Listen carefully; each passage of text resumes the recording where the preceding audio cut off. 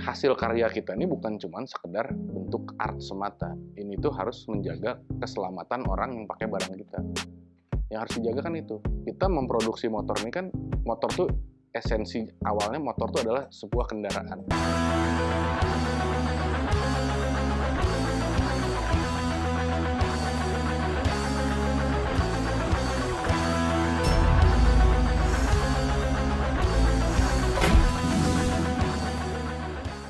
Assalamualaikum warahmatullahi wabarakatuh. Ketemu lagi dengan saya Jaki di acara Mari Berkenalan. Kalau belum kenal, jangan menghakimi. Nah, kita udah datang sekarang itu episode yang sangat spesial karena nggak biasanya dan ini baru pertama kalinya kita ke cabang industri kreatif yang cabang otomotif. Nah, siapa sih narasumbernya? Teman-teman pasti udah nggak asing lagi dengan setting bengkel di sini dan ini orang yang di dunia otomotif siapa sih yang nggak kenal beliau langsung aja kita sambut ini dia Kang Rudi Halo. Ya, Waalaikumsalam. Ya, uh, introduce. Ya. Oke. Saya buka aja ya, boleh boleh biar boleh. lebih afdol nih. kita enak. juga udah jaga jarak Oke. Halo, saya Rudi Sujono dari Flying Piston Garage Bandung. Eh, apa kabar semuanya? baik baik baik Oke. baik nah Jeki itu termasuk orang yang nggak terlalu ngerti otomotif Oke, nggak ngerti banget makanya sama dong. Nggak mungkin, nggak mungkin. Nah, Jeki pengen sesuatu otomotif apalagi di zaman dulu. Hmm. Itu bisa tertarik ke otomotif gimana sih, Kang? Saya, Mm-mm. saya kecemplung. Kecemplung nggak sengaja. Ya seneng aja kan. Anak-anak muda dari dulu, anak laki lah pasti hampir rata-rata semua seneng lah ya dunia Iya. motor, mobil apa. Cuman ya mungkin saya jadi kelebihan aja jadi kayak gini gitu. Ya nggak ada nggak ada direncanakan nggak ada apa juga pengen jadi kayak gini karena kuliah juga bukan di bidang permesinan atau apa dan sebagainya. Ini otodidak aja semua. Semua otodidak. Ya semua otodidak. Dimulainya dari kapan itu, Kang? Tertarik sama otomotif? Kira-kira tahun berapa ya? Sekitar akhir 80-an, awal 90-an, 89, 90. Kira-kira kelas 3 SMP lah atau 1 SMA. Mulai-mulai suka motor tua ya. Itu eh, sebelumnya ada suka ketertarikan ke otomotif atau langsung ke motor tua? Oh iya, kalau kalau ketertarikan sama yang hal-hal yang sifatnya roda-rodaan sama lah kayak anak kecil zaman itu ya, sedang naik sepeda, BMX, belajar skateboard, lama-lama belajar motor, motor bebek, ikut balap-balapan juga apa segala macam. Tapi ya sel- pada perkembangannya ternyata mungkin jadi nemuin passionnya di motor tua dan mobil tua gitu sampai sekarang. Old school berarti. Disebutnya apa sih? Ya, Klasik. klasik. Klasik Kalau ya, old school sih ya old school ya itu mungkin di kadang-kadang suka orang suka bilang old school itu ya salah satu aliran lah atau genre dalam dalam dunia otomotif ini Hmm. gitu loh. Jadi ya kalau saya ya nggak disebut old school juga lah gitu ya memang suka aja yang klasik-klasik lah. Ya gimana ya tiba-tiba bisa tertarik sama motor tua. Hmm. Kebetulan orang tua mendukung aja hobi jadi orang tua saya nggak suka nggak nggak nggak main bukan berarti saya ini turunan orang tua main otomotif enggak Hmm. orang tua saya sama sekali nggak nggak nggak main otomotif tapi lihat anaknya suka kayak gini ya beliau dukung gitu Support nah, full. ya support full karena ini kan positif ya gitu. Soalnya agak aneh juga jadi bukan di remaja pada zaman itu, tapi kesukaan otomotif kayak gitu, apalagi sampai balapan pun didukung. didukung. Kalau nggak liar didukung. Ya sempat juga nyoba-nyoba liar-liar dan nggak didukung. Pada saat balapnya resmi ya didukung. Di support lah. Mau bikin tim balap boleh silahkan. Asal serius gitu. Dan berprestasi gitu Ayah, iya maksudnya Jaki kagum banget ya Hmm. mas sosok ayah yang ngedukung support Hmm. full kayak Hmm. gitu. Hmm. Ayah backgroundnya backgroundnya eh, tentara Soalnya ya Ya, Jeki ya. bukan dari keluarga yang bisa didukung dalam hal segala Ya, pun, makanya ya. salut banget sih sama kalau sampai maksudnya didukung dalam artian sampai permodalannya segala macam juga nggak luar biasa kayak misalkan ibaratnya maaf ya kayak pemilik pabrik atau gimana ya ya semampunya beliau lah ngedukung anaknya tapi maksudnya ya kitanya juga tahu diri ya kalau didukung tuh berarti mencoba mencari prestasi yang bisa dicapai sebisa-bisa gitu. Tapi dukungan moral banget yang paling penting ya. Oh iya, dari yang, ayah iya, itu. yang saya yang saya masih ingat banget dari kata-kata almarhum ayah saya itu pokoknya apa pun silahkan lakukan selama bisa berprestasi, cuman jauhi itu yang namanya narkoba. Jadi ya kalau misalkan masa kecil dulu berantem ya berantem aja nggak masalah gitu loh. Selama asal jangan keroyokan, jangan nimbulin korban jiwa ya nggak masalah. Cuman kalau narkoba enggak aja sama sekali. Balap ya silahkan asal balapnya resmi karena kalau balapnya liar jadinya konyol kan gitu loh Iya. gitu. Nggak bakalan jadi apa-apa juga Ya. nantinya takutnya ada kenapa-napa Ya, kan. balap mobil suka, cuman kenapa nggak berkecimpung di balap mobil? Ya modalnya kurang gitu loh masalahnya gitu. Berarti ya salut sih. Berarti yang penting bertanggung jawab pada diri sendiri. Iya, harus, harus, harus itu yang ditanamkan. Aduh, pengen banget punya ayah kayak gitu. Eh maaf, malah jadi curhat malah jadi. Nah, awal mula ngelihat eh, ketertarikan ke klasik, kenapa sih? Nah ini nih ceritanya. Jadi mungkin karena saya tuh selalu setiap kali mungkin di antara teman-teman saya sampai sekarang memulai sesuatu tuh mungkin kecepatan. Jadi ibaratnya usia saya masih mu- masih muda, di antara teman-teman yang lain berkecimpung duluan, saya mulai duluan gitu Nah, kalau dibanding sama yang umuran saya gitu ya kurang lebih. Jadi waktu balap motor ya saya malah bainnya sama teman-teman abang saya yang pembalap-pembalap. Abang saya sibuk kuliah di luar negeri. Sayanya balap di sini sama teman-teman abang saya. Jadi saya paling kecil sendiri diasuh-asuh sama mereka. Ya mungkin anak-anak seumuran saya belum ngalamin balap, saya udah. Jadi pada saat umuran saya mulai main balap, saya bosen. Sampailah saya suatu saat tiba-tiba lihat seseorang, akhirnya saya kenal dekat sekarang gitu loh. Mungkin eh, Mas juga kenal gitu. Saya akhirnya kenal dekat sama dia. Waktu itu saya inget lagi naik mobil sama supir, sama keluarga lewat jalan Viade. Lagi agak padat, tiba-tiba disiap sama sebuah Harley Davidson warna putih. Uh, langsung itu. Nah, itu kan nggak bisa direncanakan, nggak bisa apa ya. Di iya, situ iya. langsung tiba-tiba tek, wah ini motor yang gue suka. Yang akhirnya saya kenal nama orang itu adalah si Bara. Bara, Nah. Kang Ya, Kang yang sekarang, ya yang sekarang hobinya, eh yang sekarang bisnis kopi apa Iya. dan sebagainya. Itu ya akhirnya selama perkembangan persahabatan ya beberapa kali sama dia adalah di beberapa kali beberapa komunitas gitu loh, bukan cuma motor aja. Nah, terus mungkin kalau pernah kenal yang namanya Budi Dalton, Iya. itu juga salah satu yang influence saya karena pada waktu dulu itu main motor tuh kan banyaknya orang-orang yang udah dewasa. Iya. Anak-anak mudanya, anak-anak kecilnya mungkin Bara, Budi Dalton, terus beberapa pentolan-pentolan biker brotherhood sekarang yang pada waktu itu juga masih muda. Nah, ya pada waktu itu pun saya yang terkecil di antara mereka gitu loh. merekanya aja masih muda. mereka aja masih akan. muda. Ya, sayanya ya masih kecil gitu loh gitu. Ya gitulah, kurang lebih kecemplungnya itu begitu gitu. Jadi kalau diajak-ajak sih enggak gitu loh, gitu. Enggak. Tapi bener-bener kayak sinetron ya, ngelihat Kang Bara pakai motor gitu Iya, di Viade. dia di Viade dia naik motor ngele- ngelewatin mobil saya gitu. Set, uh, itu motor apa tuh? Saya kan saya nggak kenal itu orang Hmm. itu siapa. Lama-lama saya tahu, oh ini nih yang pakai motor waktu itu gitu. Ini nih yang Ya, keroknya. ya. Dia harus tanggung jawab lah sama saya lah. Kalau saya Banget. kecemplung kayak gini, ya, Banget. dia lah. Dianya malah ke kopi lagi sekarang. Nah, dia Dianya ke kopi. malah ke kopi lagi. Ya gitulah kurang lebih ya kisahnya. Singkatnya lah. Klasik dan emang eh, bukan sesuatu hal biasanya banyak orang yang hanya ikut-ikutan. Oke. So klasik pada sesaat. Oke.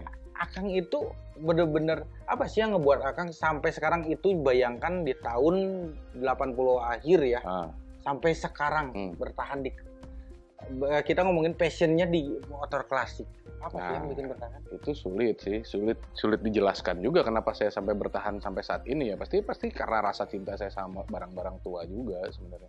Pada prinsipnya saya suka barang-barang tua gitu. Jadi kalau misalkan ditanya kenapa lu sampai sekarang bertahan, saya juga bingung kalau untuk nyebut kayak gitu gitu loh. Tapi pada intinya sampai saat ini, sampai detik ini saya di- bicara gitu, passion saya belum hilang sama barang tua. Mungkin kalau hilang, ya bisa aja saya tinggalin gitu dunia ini. Gitu. dan berarti Akang itu bukan tipikal orang yang karena bisnisnya aja ini jadi suka Oh, bukan ya? kebalik mungkin karena saya terlalu mendalami dunia itu jadi akhirnya saya berbisnis ini. Bukan saya maksudnya pengen berbisnis ini terus saya jadi mempelajari ini bukan. Karena saya mulai ini duluan sebelum bisnis saya gitu. Ya karena yang fenomenanya zaman sekarang karena ada yang biasanya ada orang yang mendadak suka pada zaman sekarang ya Hmm, biasanya hmm. mendadak suka punya modal langsung tiba-tiba bisnis saja Ya, itu hal yang nggak aneh kan untuk zaman sekarang banyak sih ya di di dunia yang sekarang pergerakannya cepat kayak gini ya banyak lah pasti orang-orang yang kayak gitu tuh banyak gitu. Tapi ya sah-sah aja sih Iya. selama selama memang dia meyakini dunia ini semua bisa dia manfaatkan buat mencari keuntungan pribadi sih nggak masalah gitu kan. Iya. Cuman kan masalahnya saya sampai saat ini masih meyakini bahwa eh, memulai segala sesuatu itu se- sebenarnya mudah kalau kita punya keinginan, punya modal tuh mudah. Yang sulit itu adalah menjaga eksistensi. Mau berapa lama kamu bisa bertahan di dunia ini? Gitu loh. eksistensi berarti ber, ber- berjalan beriringan itu dengan konsistensinya ya Iya, eksistensi dan konsisten. Kamu mau eksisnya berapa lama? Kamu bisa konsisten berapa lama dengan hal yang kamu pegang ini? Saya nggak pernah ngitung. Saya main motor ini sejak kapan dan akan sampai sampai kapan tuh saya nggak pernah ngitung. Itu nggak ada teorinya. Jalanin aja tiba-tiba. Kalau saya mikir-mikir ngobrol-ngobrol sama staff-staff saya nih sambil ngobrol, kita main motor dari kapan ya gitu? Ya dari berarti udah berapa tahun? Udah berapa dekade gitu ibarat kata kan? Ya. Oh anjing lama juga ya ternyata gitu loh. Tapi kan kita nggak pernah mau berapa lama nih gua gitu. Nah sampai sekarang kita belum tahu juga apakah minggu depan tutup, apa 10 tahun lagi, apa saya turunin nanti ke anak saya, apa saya nanti sampai tua renta juga masih jadi seperti ini kita nggak tahu. Gitu. Jalanin aja, aja ya, yang aja depan. jalani. Cuman selama yang apa yang kita jalanin sekarang, ya kita harus konsisten gitu loh. Gitu loh. Konsisten. Harus Ju- konsisten. jujur Apa pun itu yang gitu. susah sih kan Ya susah memang karena dalam konsistensi itu kan menghadapi semua handicap ya gitu. Iya. Itu gitu loh. Jadi banyak banyak banyak cobaannya, banyak godaannya apa segala macam nggak melawan kejenuhan apa segala macam. Ya itu gitu yang sulit. Karena kalau mau memulai gampang. Saat ini sekarang duit ada. Barangnya udah banyak, Iya. nggak zaman kayak waktu zaman saya dan teman-teman yang di umuran saya dulu main kayak gini, cari barang ini tuh susah, ya. setengah mati. Kalau sekarang YouTube, eh kok YouTube ya, cari ilmu YouTube banyak. Iya. Mau bener mau salah di YouTube banyak bertebaran, tinggal berpikir aja. Trial and error Nah, aja mau cari barang apa pun, eh, banyak Tokped, Bukalapak, bla bla bla, im- apa apa eBay lah, apa Iya. segala macam ini banyak. Kalau dulu mah boro-boro gitu, punya duit juga barangnya nggak ada gitu. Apalagi nggak punya duit, lebih nggak ada lagi gitu loh. Jadi sekarang memulai segala sesuatu tuh gampang banget sebenarnya. Mau memulai mah gampang gitu. berarti yang susah itu eksistensi ya Jaki bisa bilang sampai berkembang sampai mana sih soalnya biasanya memulai aja Hmm. tiba-tiba mati kan eh, gampang banget itu gampang banyak banget Banyak, sekarang gampang banget. Nah, Terus yang harus dibedakan ya dalam industri seperti ini, gitu. yang harus dipikir adalah hasil karya kita ini bukan cuma sekedar bentuk art semata. Ini tuh harus menjaga keselamatan orang yang pakai barang kita. Yang harus dijaga kan itu. Kita memproduksi motor ini kan, motor tuh esensi awalnya motor tuh adalah sebuah kendaraan. Pada saat hasil karya kita jadi ini, itu harus bisa dikendarai. Nah, pada saat dikendarai itu, safety-nya kita harus bisa mempertanggungjawabkan itu, gitu loh. berarti bukan hanya sekedar gaya doang Ya kalau gaya kan itu kan bonusnya Iya. sebenarnya. Kalau gaya itu sebenarnya bonusnya dari apa yang udah kita kerjakan. Yang penting itu safety-nya. Nanti kalau misalkan customer kita bikin motor sama kita terus di jalan, tahu-tahu frame-nya cracking, tangkinya bocor, rodanya lepas, itu gimana pertanggungjawabannya gitu. Ya kan itu menyangkut nyawa orang gitu. bener banget berarti karya seni yang eh, harus dipikirkan itu Ya. dengan keselamatannya Saya saya salah satu orang yang percaya bahwa dunia custom motorcycle ini adalah dunia art.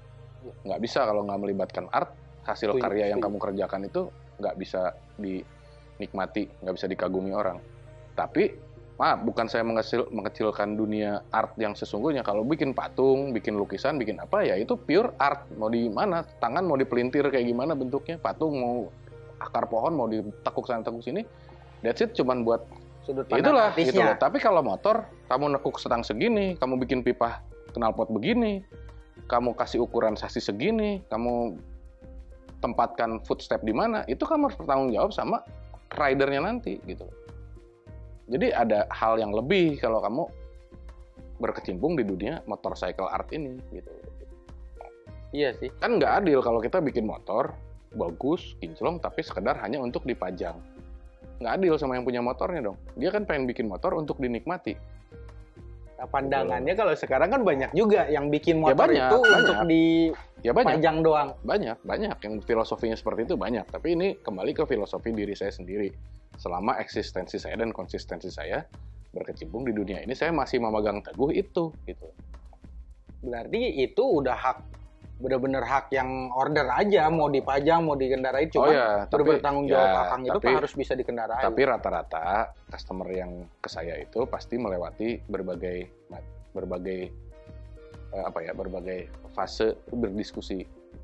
Jadi saya sebagai builder juga punya beban moral untuk memberi pemahaman sama dia bahwa motor ini tuh nanti untuk dipakai gitu. Ya terserah kamu mau pakainya di kota dari cafe to cafe atau cuman keliling-keliling kota atau keluar kota bersama kami. Tapi motor yang keluar dari saya adalah motor yang untuk dikendarai. Gitu. Kalau untuk show, menang show itu mah bonus. Udah bikin motor tuh pasti harus rapi. Kalau nggak bikin motor rapi, ya jangan bikin gitu. Jangan jangan. Tapi hasil rapinya itu adalah untuk dipakai dulu ya. Gitu. Ke sana. Fungsionalnya dulu. Fungsinya dulu, safety-nya dulu. Kok pernah kepikiran nggak jadi bisnis kayak gini Enggak, awal-awal main? Enggak, enggak. Karena hidup tuh kan tetap harus mengalir aja gitu. Ya cita-cita harus punya, tapi nggak semua cita-cita bisa kan. Iya. So, waktu kecil ditanya cita jadi apa? Jadi dokter. Sekarang enggak kan gitu loh. Jadi kadang ada yang jadi astronot enggak juga Iya. kan. Tapi kan dari kecil nggak mungkin cita-cita pengen apa? Pengen kaya nggak ada lah kayak gitu anak kecil gitu. Tapi kan beriring jalan, kita kan tahu mau ke mana arah tujuan kita. Gitu. Nah, udah itu, itulah yakini. Gitu. Itulah perjuangkan sampai mana. Awalnya nge-custom motor itu untuk sendiri atau langsung untuk orang? sendiri sendiri awalnya tuh awalnya tuh awalnya tuh gini di Bandung ya saya nggak tahu kalau di daerah lain di Bandung waktu saya main pertama kali punya motor tua itu kan sebuah Harley Davidson tahun 48 jadi waktu awal mula tuh dunia motor tuh belum seperti sekarang kita tuh anak kecil anak muda yang ngikut ke hobinya orang tua tuh ibaratnya terkotak-kotakan. Kalau lu seneng Harley, kumpulnya sama anak-anak Harley. Kalau lu seneng BMW, kumpulnya sama anak BMW pada saat itu ya. Kalau lu seneng yang campuran, kumpulnya sama anak-anak MAC. Dulu tuh begitu dan kita tuh terdoktrin untuk mengikuti senior. Rata-rata klub zaman dulu tuh hierarkinya seperti militer. Karena yang punya motor Harley Davidson itu biasanya adalah latar belakangnya tentara.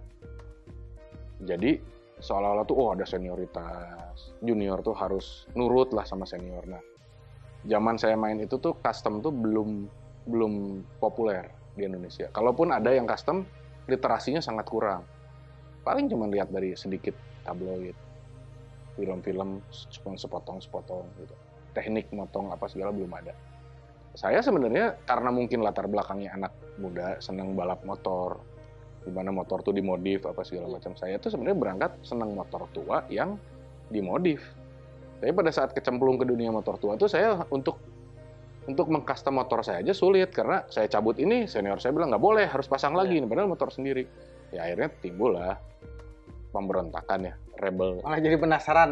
Iya saya bongkar-bongkar aja sendiri otodidak. Ya dibantu sih sama mekanik-mekanik senior zaman itu gitu. Jadi ada yang Iya, support, ada yang larang.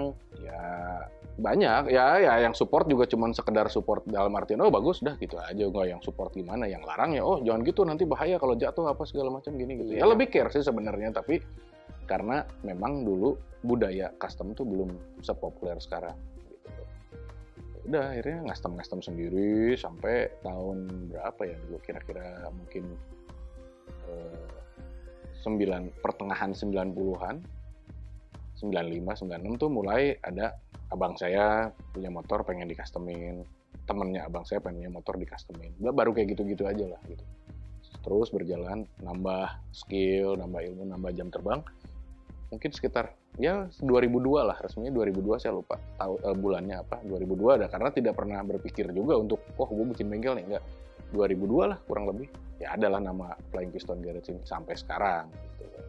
Berarti awalnya custom itu modifikasi custom. Hmm. Tapi kalau yang Jaki, eh, Jaki sempat cari tahu tentang apa, sampai sekarang ngebuat juga bener-bener made in Indonesia kecuali mesin gitu. Oh iya, karena eh, proses modifikasi itu kan pasti begitu gitu. Kalau misalkan kita pengen kita punya konsep seperti ini, sasisnya nggak ada di luaran yang seukuran kita, kita harus bikin. Kita pengen tangki bentuknya ini di luaran nggak ada, kita mau harus bikin kan, gitu. Manufacture itu. Kalau mesin kita nggak bisa. Iya. Even kayak bangsa velg apa segala macam, saya juga belum berani pakai yang buatan lokal karena apa? Bukan saya nggak gimana ya maksudnya. Kalau suatu saat nanti menurut saya industri velg lokal itu udah mumpuni, saya pasti juga akan pakai. Karena dari dulu saya sih orangnya boleh ditanya, saya sih dari dulu orangnya nggak terlalu merek minded ya. Orang pada pengen pakai bahan merek mahal apa segala, saya nggak sih sebenarnya. Lebih ke gunanya aja sama estetisnya kalau cocok bagus, ban murah malah saya seneng pakai itu. Ngapain beli mahal-mahal kalau memang bisa keren gitu. dan fungsional sih. Iya. Kalau jadi tipikal Akang itu bukan tipikal orang yang terlalu banyak neko-neko harus gimana-gimana. Yang penting fungsionalnya dapat secara eh, pandangan juga enak. Ya gitu. fungsional dan estetiknya mesti bisa dipertanggungjawabkan itu aja buat karya kita. Udah itu aja sih sebenarnya. Simpel lah, sesimpel-simpelnya kalau bikin motor tuh sebenarnya sebenarnya bikin motor tuh gampang, tapi susah. Ya sebenarnya kalau orang ngomong bikin motor mah susah, ah, enggak lah menurut saya mah gampang gitu gitu. Jadi gitulah. Setelah melewati Kurang tahun 90 sampai sekarang Ya, gampang. ya, gitu. Iya, gitu. Nah, disebut susah ya gampang sih sebenarnya. Disebut gampang juga ya memang susah. Tiap motor tuh masing-masing motor tuh pasti ada handicapnya. Tiap motor yang dibangun tuh pasti ada ceritanya masing-masing di tiap motor. Nggak mungkin sama semua tuh nggak mungkin. Yang ini trouble-nya apa, yang ini trouble-nya apa. Cuman ya sampai saat ini staff-staff saya mantep lah. Bisa bisa mengatasi semua. Dan treatmentnya itu macam-macam ya. Ketemu orang beda-beda Oh, iya. kepengen. Ya, ya macam-macam. Macam-macam lah itu. Motor pertama yang diorder sama orang itu dari motor siapa kak? ada orang Bandung, kebetulan teman-teman main juga, itu mungkin sekitar tahun 9 sekitar 94 95-an lah ada orang Bandung. Ngirim dia satu motor Harley Davidson minta tolong dirubah begini digitu digini ya kita memberanikan diri untuk merubah. Itu di di dalam di rumah, di dalam rumah. Di dalam rumah. Belum kan nggak punya bengkel, nggak punya apa, di garasi nggak cukup ya udah di dalam rumah. Bongkar-bongkar di ruang makan apa segala kayak gitu. Pasang-pasang. Berarti orang itu bener-bener yang ngebuat Akang pede eh, ngejalanin bisnis ini enggak? Belum. Masuk. belum, Belum ya? sampai sampai belum sampai sejauh itu. Oke lah gara-gara satu motor ini gue siap buka bendera gitu cuman waktu itu ya pengen pengen punya motor yang beda. Saya juga tangannya gatel pengen ngerubah motor yang beda gitu loh gitu. Jadi apakah dia yang kejebak sama saya? Apakah dia yang memanfaatkan saya? Saya nggak tahu. Yang penting pokoknya tujuannya sama dan jadi gitu. Win-win solution. ya, win-win solution. kok dia juga bisa percaya sama gue gue juga nggak tahu gitu. Ya salut sih jadi termasuk orang yang salut juga buat teman Akang yang pertama itu bahwa mempercayakan untuk sesuatu hal gitu. Wah, ya, mungkin- apalagi mungkin dia percaya banget. Enggak cuma nggak ada lagi aja pada waktu itu. Jadi mau nggak mau gitu kan gitu. Siapa yang bisa bikinin motor saya beda? mungkin sebenarnya udah ada banyak lah. Sebelum saya tuh udah banyak. Cuman mungkin kan eh, dia mungkin nggak kenal. Dia juga mungkin riku sama orang nggak kenal gitu. Mungkin gitu lah sebenarnya. Tapi jadi ngeliat track record bahwa sebenarnya termasuk Akang pede nggak disebut pionir motor custom di Bandung? Bandung. Eh, kalau dulu dulu sih saya nggak enak ya disebut gitu gitu loh mungkin karena juga dulu mah umurnya masih masih muda senior senior juga masih banyak cuman kalau sekarang makin ke sini makin ke sini dipikir-pikir ya juga ya dulu ya gitu pada tahun pada tahun itu saya Tahun bikin itu. motor old school choppernya di di di Bandung lah ibaratnya jangan jangan sampai jauh-jauh ke mana-mana di Bandung nih mungkin saya mungkin salah satu yang pertama kali mungkin gitu loh yang memperkenalkan genre ini gitu jadi jangan dilihat cuman motornya aja, genre ini tuh mesti dilihat satu keseluruhan lifestyle-nya. Jadi bentuk motor itu seperti itu, wardrobe-nya seperti ini. Karena sebelum era itu, anak-anak motor di Bandung tuh ciri khasnya ya jelas lah, celana jeans cowboy, sepatu cowboy, mungkin kemeja flanel, flanel pakai rompi. Rompi ada color grupnya. Hmm. Nah, waktu itu saya dengan cueknya mulai meninggalkan sepatu boot, meninggalkan celana jeans, rompi color apa pun karena saya tidak pernah tergabung dalam grup apa pun gitu. Hmm. Jadi yang ada ya orang-orang yang belum paham pasti bertanya kan gitu loh. Iya. Kan sekarang anak-anak, maaf ya saya sebut merek nih. Anak-anak sekarang pakai celana dikis, pakai sepatu Vans, Converse juga udah nggak dilihat gitu. Iya. Apalah sekarang anak-anak sekarang hebat-hebat ada merek Carhartt lah, ada merek Red Wing lah, ada merek apa. Dulu kita juga nggak terlalu paham yang kayak gitu karena cari barang itu jadi di sini susah. Dulu zaman itu tuh masih celana jeans tuh masih ya udah Levi's, eh Levi's, Levi's. 501 pakai Lea ah lu Iya. Jack pakai Lee ah lu kurang pokoknya Levi's pun mesti 501 pada zaman itu top top ya sepatu tuh Dokmar. Iya. Pada waktu itu nggak ada Red Wing apa segala macam. Nah saya keluar dari dari Zona dari zona itu. saya pakai celana dikis, saya pakai sepatu fan slip.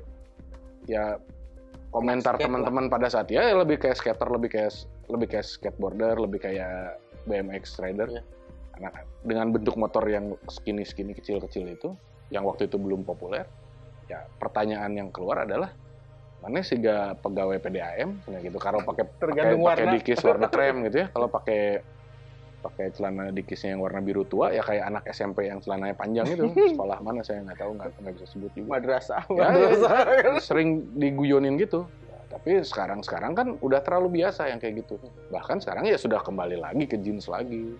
Pakai sepatu kulit lagi dengan berbagai macam merek apa segala macam ini. Gitu Malah bervariasi banget ya setelan Ya, sekarang, sekarang- sekarang mah udah enak banget lah main motor apa ya, enak. Sekarang sekarang udah kita udah lebih apa ya lebih lebih in general bahwa custom culture ini motor tuh sebenarnya hanya sebagai pendukung aja. Kalau dulu tuh motor memang identitasnya. Kalau sekarang motor bukan identitas ya karena kita dengan gampang oh ya kita kumpul ya satu komunitas nih kenal semua apa segala. Ada yang pakai Vespa ada yang pakai Vespa Matic ada yang pakai Lambretta ada yang pakai Harley ada yang pakai Triumph.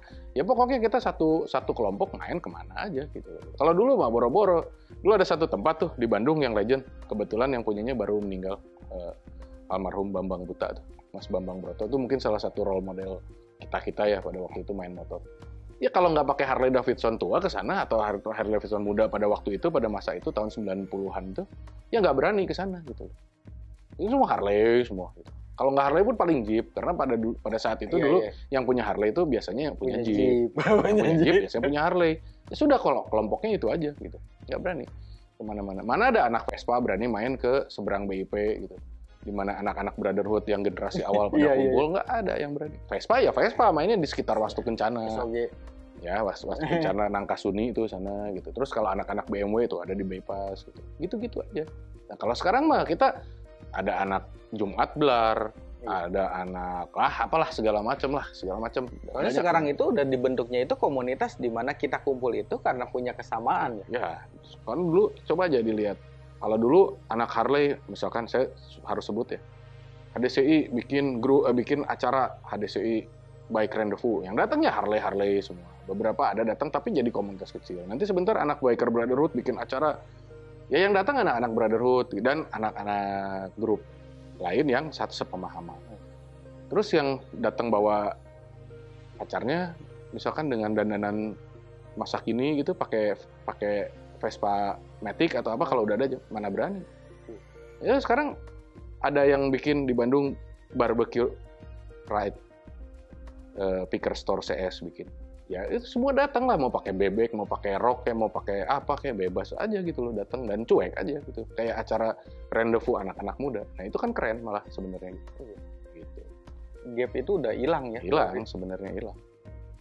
Dan bagus itu bagus banget Ini emang gapnya itu bener-bener udah hilang. Ya dulu Jaki juga ngerasain sih umuran-umuran dulu ya Tiger sama Tiger Ya, semua. kan ada tuh tap apa Hmm. ya zaman dulu kan SOG pecah lagi jadi apa jadi apa jadi apa KNC, wah.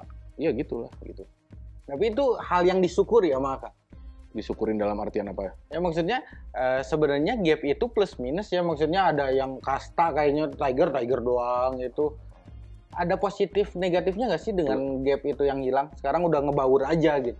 plus minus tapi maksudnya nggak jadi suatu hal yang positif atau negatif gimana ya karena dalam dunia gini mah pasti ada aja tergantung kitanya mau ada di ranah mana gitu kalau yang sampai saat ini masih senang berorganisasi pasti mereka akan tergabung di organisasi gitu. dan nggak masalah gitu loh tapi orang-orang yang tidak terlalu suka terikat dalam satu ikatan organisasi dia pasti juga kayak saya gini bisa main ke mana-mana gitu.